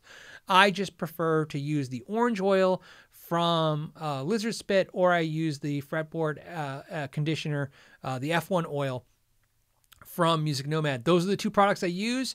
I'll probably continue to use those for many, many years. Neither one of those companies are, are sponsoring me in any way. In fact, uh, I have a video coming out where I'm comparing a bunch of products, and I just spent a ton of money with StewMac and uh, Sweetwater buying the stuff so I can do a video where no one's involved in any way, uh, comparing stuff like this Uh, and it's on its way. It might even get here today. Uh, and that video will come out as soon as I can get the products. Um, so to answer your question, you can use that. The thing about ebony that you only have, this is the easy part with ebony. So if you use some fretboard conditioner on ebony, you're absolutely fine. You just follow the same rules. Put it, I always tell you guys, uh, and I've done videos about this, put the, I put the product on the cloth, never on the neck that's my recommendation. I say that because sometimes I've done what I just told you not to do, but I, I, recommend you just put it on the cloth, wipe it on the fretboard, let it sit for a second, then wipe off the excess. Um, and I say second, you know, just let it soak in. Um, but my point is, uh, you can use whatever you use for rosewood, you can use on ebony. I, I, I promise you, you'll be fine. The only thing is, you need a lot less of it because ebony is so tight grained and it doesn't really lose moisture like uh, like rosewood does, and it doesn't get dirty like rosewood does. So there you go. Just use that light and you'll be fine. That's it. Uh, so so hopefully that helps. Um, and uh, if you want that, like I said, check out um, uh, Magic Magic uh, uh, F1 oil. Like I said, F1 from from Music Nomad or uh, the orange oil from Lizard Spit. Very very good products. I recommend them, and you'd be. I promise you you'll be safe. Put them on a cloth and wipe it on there. You'll be safe. Um, I trust him with every guitar you see behind me. so if you have a guitar that looks like any of these or anything close, you're fine. All right. Uh, Scott Miller says, got to see those pics. Oh my goodness. All right, fine. I'll figure out how to do that next week. I'll show you, show you just because. Oh my goodness. I'll I'll, I'll, I'll share a story. Here's a, my my favorite story. When my wife, remember, I've been married now 22 years. What I didn't mention last week when I was talking about my anniversary I've been married for 22 years. I have known my wife since I was 13. Uh, so she's we're the same age. So we've been friends since we were 13. We know each other. We weren't high school sweethearts. Um, what, what we but but we've been friends for that long. So we've known each other, our parents. I mean, we're you know long time. Um, so here's why it's funny. I'm going to set this up. If you guys, and a lot of you guys, uh, obviously that watch the channel, were obviously customers my store for 13 years. You know my wife because she worked, uh, she ran the Lesson Academy. So you know she's a redhead. So this is why this is funny. I told her one day, this is many years ago, I said, hey, I'm going to play in this band. And it's like, it's called the Gospel Gangsters. And, you know, and uh, it's with the singer Stanley Thompson. And we're going to, we're going to play some, some, some music. I, and I didn't tell her because it didn't really matter to me it, to tell her. It didn't occur to me. Actually, not matter. That's not the right word. It didn't occur to tell my wife that I'm playing with a, a, a Pentecostal church band at an all black church. Now, I'm not uh, exaggerating, okay? Uh, so, the reason why I tell you the story is uh, the first time we played at one of the one of the church functions, which is a very large, large function, uh, my wife showed up and uh, I'll never forget this. I was standing off to the side, and she came there, and she went up to uh, one of the ushers, and she says, um, "My my husband pl- plays the bass," and they went, "Yeah." they go, "We know." and uh, so anyway, so uh, yeah, I'll show you pictures because it's always a it's a like I said, it was one of the funnest times of my life, and and I highly recommend this. Like I said, I was in the army. I highly recommend if you haven't had the experience in your life, and please take me up on this. I don't care what your uh, ethnicity is, whether you're a man or a woman. Uh, if you ever have the experience in life to to um, surround yourself with people that don't look like you or act like you, you should take that opportunity. It was the best experiences of my life, or when I was in the army, or when I was playing in bands like that. To to to surround yourself with a culture that's not yours is the best way to f- find things that are amazing. So that's just my experience, and I imagine it will also be you. Uh, so there you go. There you go. Um, all right. Uh, and then uh, Doc Doc wants to know, hey, hey, howdy, Phil. Wondering if my email got you. Uh, and mean, he means got to me uh, with the pics of my guitar room. If not, I'll try again. It, it is it sad uh, that I can't manage an email, but the but the Marines put me in charge of their medical needs. Oh, thank you for your service, and especially uh, for the medical side, because you know definitely uh, you know, you're the man. Uh, and, and, he says, uh, so yes, uh, look, two things that maybe we clear up right now, because that's what's nice about having a live show every week. We can clear out issues. Um, if you sent me pictures to your super strats, a couple comments in the video I did this week were like, oh, I guess you didn't use mine. I don't know if it was clear. I'll make sure it's very clear. I was going to do two live shows where we just did a, like a, you know, like a, a home movies thing where I just showed you the pictures. And I, I really decided to go, no, this will work better if I actually edit and create the, the videos and do them 10 minutes at a time and then just do a bunch of them. I want to let you know just because um, I, I, really think that was a, a, better way to do it. I'm very happy. I hope you guys really enjoy it because it takes about six to seven hours to make one of those 10 minute videos um, because there's so much editing and over talking. You know, I have to read and over talk and overdub. I don't want to say over talk, overdub. And um, so what I'm basically saying is if you send me pictures, you'll eventually be in one of those videos, right? I did try to go in order they came, but then I kind of sorted stuff to keep it interesting. Again, I want to make people interested in the in the in the videos, which is the product. The product I make is videos. So I kind of moved some stuff around, but like I said, I'm getting there. So if you send me something, please, like I said, be aware. You'll be in there, I promise. Uh, and if I forget you, well, then I'll have a last video where I recap all the people who sent me emails saying I forgot them. Like I said, we'll we'll be fine. Um, and then uh, as for Doc, uh, as as far as your uh, email, uh, yeah, I'm sure I got it. I've been in a little, like I said uh, you know, construction mode. so, um, and then, uh, yeah, I'll just tell you. So here's what happened. I, am just gonna, I gotta vent it. So here's what happened with the, the shop. So you know, everything was fine. I had a contractor come. They did the work. They were amazing. I got nothing but great things to say. I did some of the work myself, as you do. A little sweat equity. I did some stuff. My wife painted for me. She painted. We wanted to change things up. They installed the, uh, you know, they installed some stuff like the door and stuff. The new door. I had a new door put in the the garage door it's a single garage door for the shop. There's a garage door and we insulated it and we did some stuff. And what happened was there was a little micro chip in the window and it cracked. So the window has to be replaced the 11 by 18 window. We had three garage companies i think come out and two glass companies or at least that's what i think something like that. Maybe it was two and two. But anyways they came out. No one can replace this window. This garage door is some mystical crazy garage door, even though my house was built in like 2006. They don't make this garage anymore. It apparently went out of business in the recession and the company that makes the garage door. And it's a big night. And so, you know, eh, some of you guys are going to make comments. No, Phil, this, look, I already talked to so many companies. You can imagine how many times.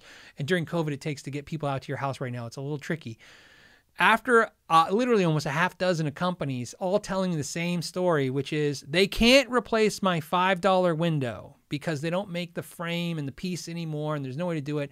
So I, of course, went and bought glass, cut glass myself, tried to put it in, and realized that they're right. It's very difficult to get this done. Can it be done? Yes. So we have to replace the entire garage door to replace the little window. I'm not complaining. I'm just explaining that sucked up an insane amount of time this week. So uh, that's my way of apologizing for not getting to certain emails and doing stuff. That's just you guys. I, I know a lot of you understand. You all uh, do, do, stuff, projects and stuff, and you guys know that's how it goes. So uh, yeah, they. Uh, and then Richard said, Richard's got. He says, "What about those new amps you teased about?" Yeah, they're not out yet. I told you, like I said, I, I have no control. I'm not uh, when they come out. Um, uh, I did, however, watch last week as you guys threw out guesses, and and literally it's a bunch of brands. this is I feel horrible. I'm just tor- tormenting you, Richard. I, I apologize that I'm tormenting you, but I like I said they'll be cool. Um, uh, let's see. All right. Uh, we got to get we got to get focused. What do we got to do? Hold on a second. Let me drink some water real quick. Um, Derek says, I live in Tucson and I have a guitar. All right, sounds like a cool t shirt. Uh, it says, I think you would love to look at it for a Sharper Max 80s made in Japan uh, Squier Bullet, modded out but needs some work. It's 30 years pl- old and needs some TLC. I, I probably would. Sadly enough, uh, Derek, I have, uh, uh, like I said, I'm still working on some Sharper Max guitars that were ready to get kind of finished, and then I decided I'm going to wait until the shop's done. the change of the shop because I like the layout now. It's again, it's not a big deal. Like I said, this is a minor shop change, but it might, you know, you guys know, even a minor changes sometimes end up being a big, big, big project. Um, but I'll keep you in mind, buddy. Uh, like I said, you know, there we go. Uh, Patient Zero says anything new in the seven string market, been out of the loop. I got my two Schecters from you years ago, uh, but I'm looking for something new. You know, in the seven string market, I mean, obviously, you know, you got Strandberg, that's pretty out there and cool. You got the new Abasi guitars, those are definitely out there and cool. Um, the I'm trying to think what else is cool in the seven string market. It seems like it's been an eight string market for the last few years. You know what I mean? In the in the grand scheme of things, I I've owned a ton of seven strings. I love them all, and for one fun reason or another, I, I them all down and end up just with my RG7 620 made in Japan seven string that I still love. It plays great, sounds great. I bought it for 350 used. You can't beat that for a made in Japan Ibanez. You know what I mean?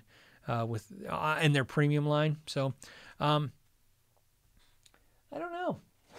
like looking around, I don't know. Thinking, I don't know. Maybe I, I need to poke around now. Maybe it's time for another seven string video. Miguel says, ever tried the Epiphone Prof series? We talked about this last week, and I hadn't tried them. Uh, nice specs on paper. Think they're worth the $8.99 price tag. Uh, debating and getting one or not. Uh, I don't know. Like I said, I don't know anything about them. I stopped. Uh, like I said, I, I talked to Al John and somebody else at Epiphone. Let them know that I was interested in a few models of guitars to do videos with. Uh, it was a very positive conversation if it comes to fruition and they send some product out, we'll do I'll do videos, you know what I mean, and it'll be great.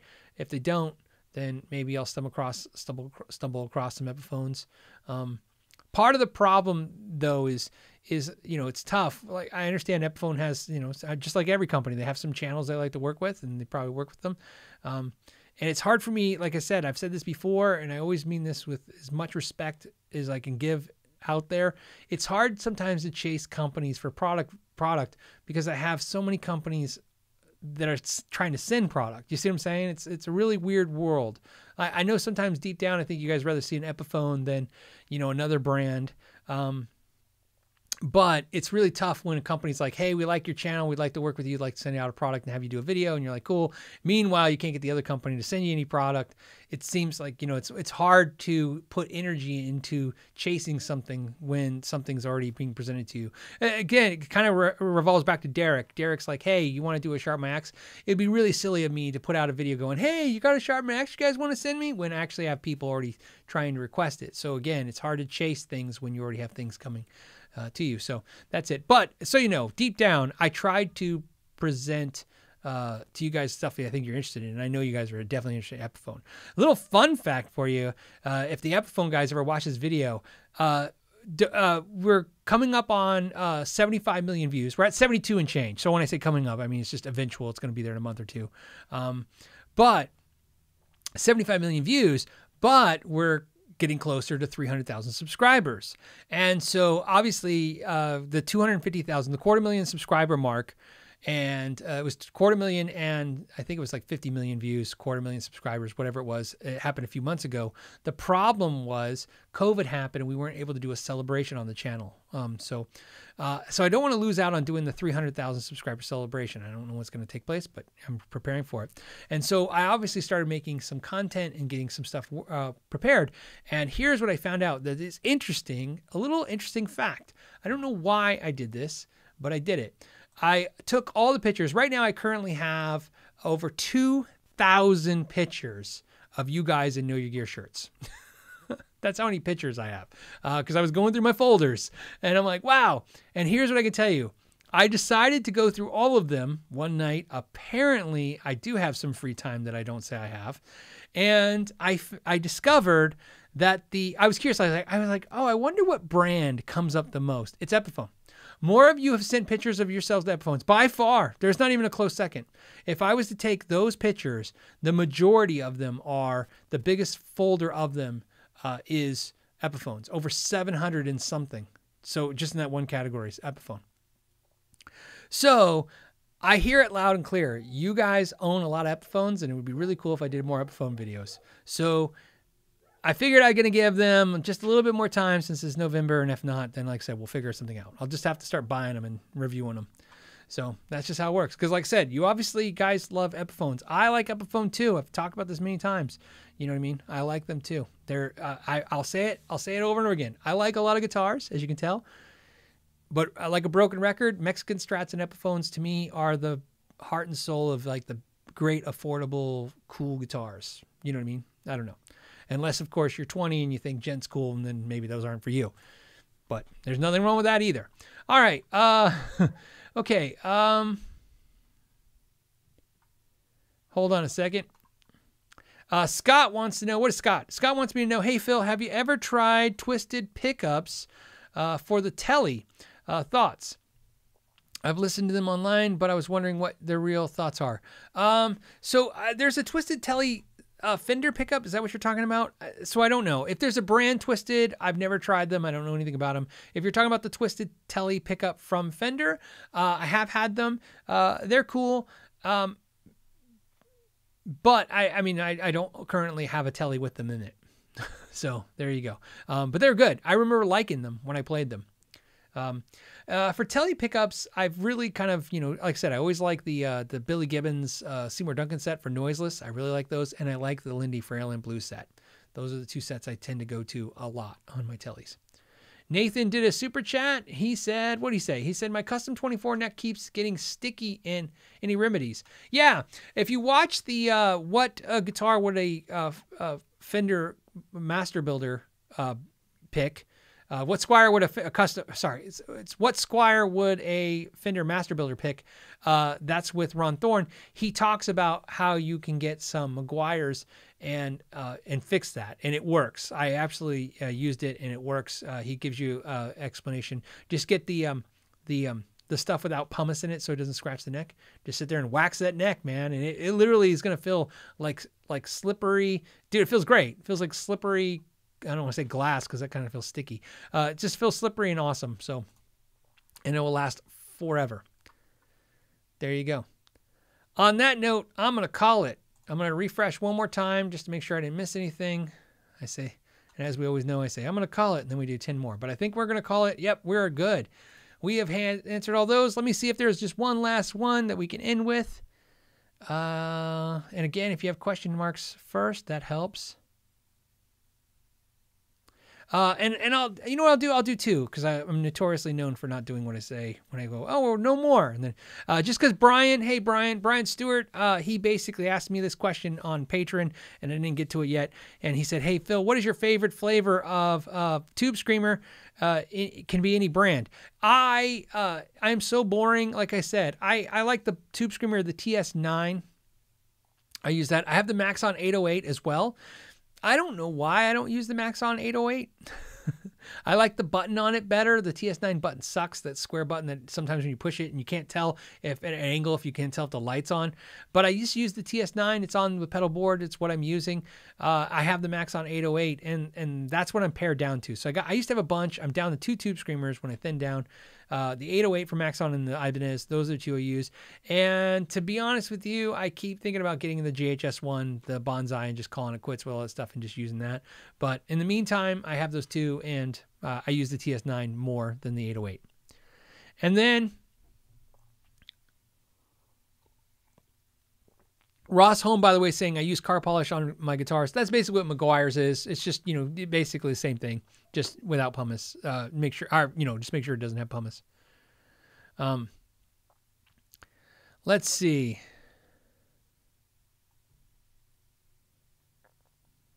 Hold on.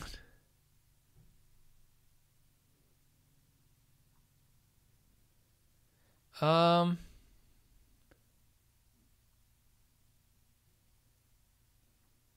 Shrinkadillo says, "Do I watch Trogly's Guitar Workshop? I don't know what that is. Is that different than his channel?